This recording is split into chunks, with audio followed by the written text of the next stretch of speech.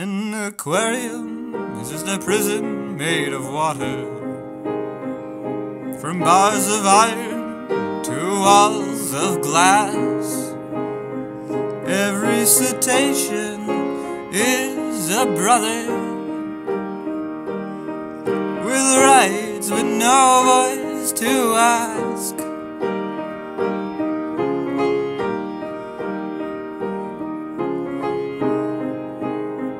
We must not shrug away our responsibility to grant liberty to the people of the sea, freed from their cages to the open ocean, freed from the confines of human captivity.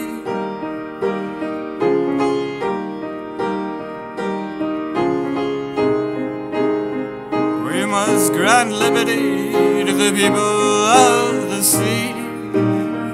We must grant liberty to the people of the sea.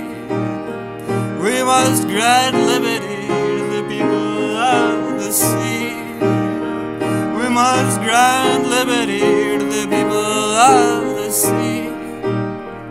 We must grant liberty to the people of